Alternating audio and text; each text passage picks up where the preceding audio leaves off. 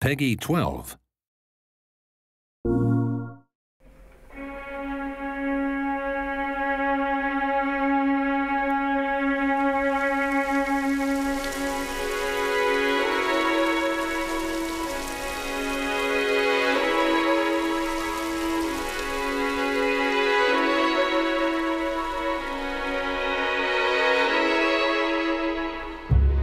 このゲームは僕が今までえーお仕事した中でも最も静かな、えー作品です。音楽もほぼ盛り上げずにアーティスティックに静かに、えー最後まで突き通して作ったのでこのような、えー経験は僕は初めてだったのでとても、えーワクワクしました。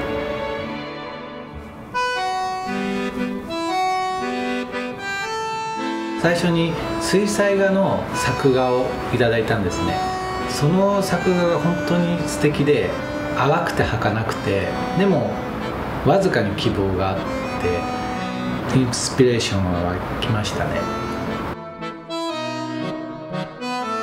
バンドネオンっていう楽器自体は今まで僕も好きな楽器ではあって、えーいつもお願いしてる水野さんという方に今回もお願いしたんですが曲によっては、えーメロディーと伴奏でバンドネオンの種類を変えたりとかゲームの作品に合う一番ベストな楽器をチョイスしながらレコーディングできたと思います。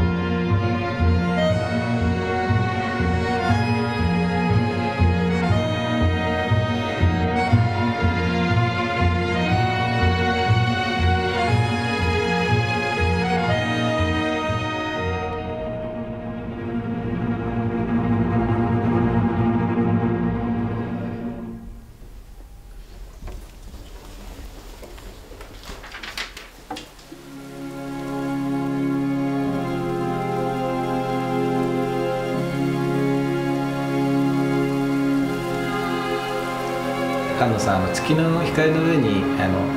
メロディーをボーカルの入ったメロディーを乗せてください女性のっていう話でしたのでみんながこれだけ知っているあの有名でもう単体で本当に美しく成立している曲を一歩間違ったらあぶち壊してしまうかもしれないし、うん、プレッシャーでした。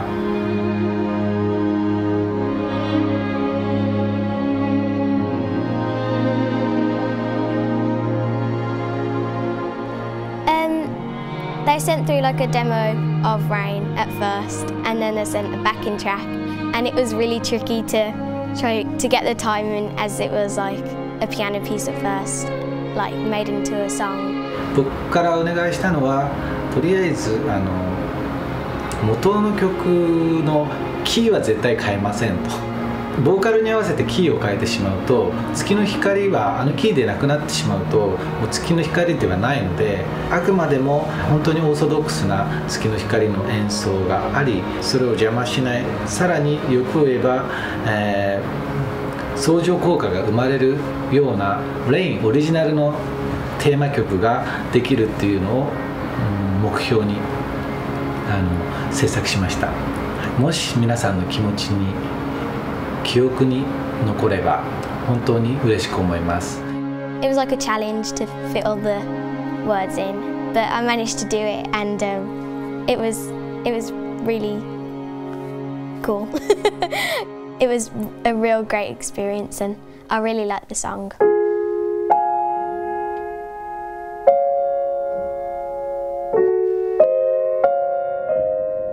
Been